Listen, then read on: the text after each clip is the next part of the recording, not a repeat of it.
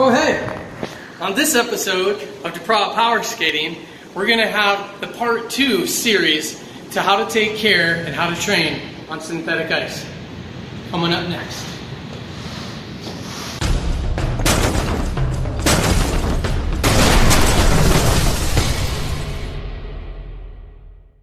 Hey guys, Coach Ryan DuPraw here with DuPraw Power Skating at DuPraw Power Skating Studios. This is the part two series. If you missed part one, go look underneath this video, click the link, and you can watch the first part of synthetic ice training.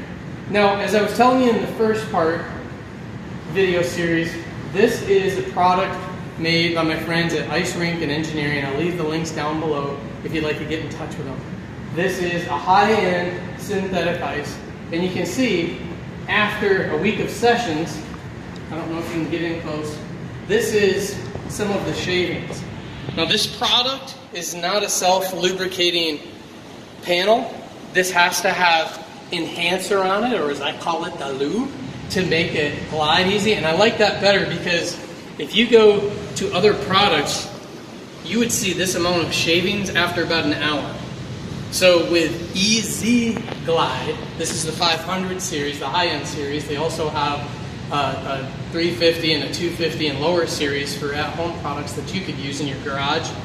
Um, you would get way less shaving. So you can see this is after about a week of training, and I take the uh, high-tech squeegee here, as you can see, just to kind of sweep that off before I do the rest of the cleaning.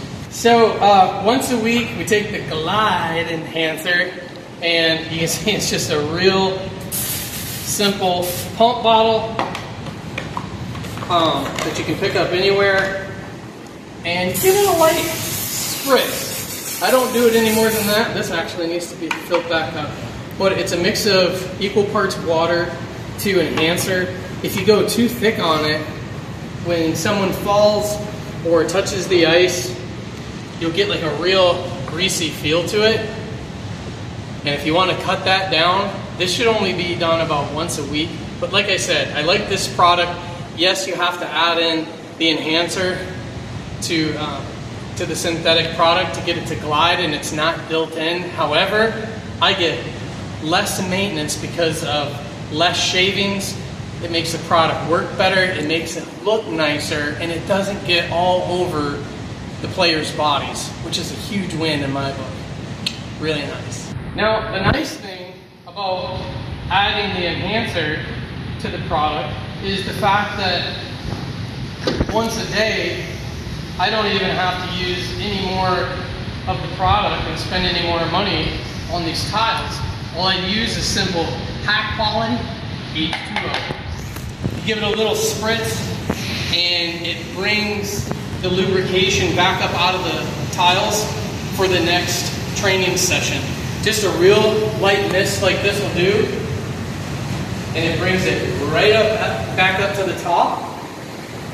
Now I'm not talking Clark Griswold shining up the sled flying down the hill kind of fast, but it makes it slick, and then we're right back to the as close as you can get to ice-like feel for a training.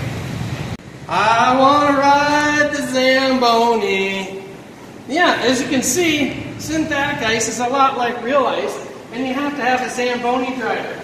Cool thing is here, there's no propane, right? There's no way you can accidentally take a turn too hard and bust into the boards and knock them over. You kind of go old school, and all we have in here is a heavy board with five dollar towel from Walmart. And what this does is it spreads the water and the synthetic enhancer out evenly. Also picks up any dirt and shavings. Plus, you look really cool, and everybody wants to drive a Zamboni. I hope you like this video on synthetic ice training and how to maintain synthetic ice. Make sure to check the links down below so you can get in touch with my friends at Ice Rink and Engineering and they can direct you to this product and they'll hook you up, take good care of you. Now, so you don't miss any future videos from DuPraw Power Skating, because there's a lot coming in 2021. Make sure to subscribe, like, and smash that notification bell when the new videos arrive. Just like number 99, I'll see you next time and have a great one.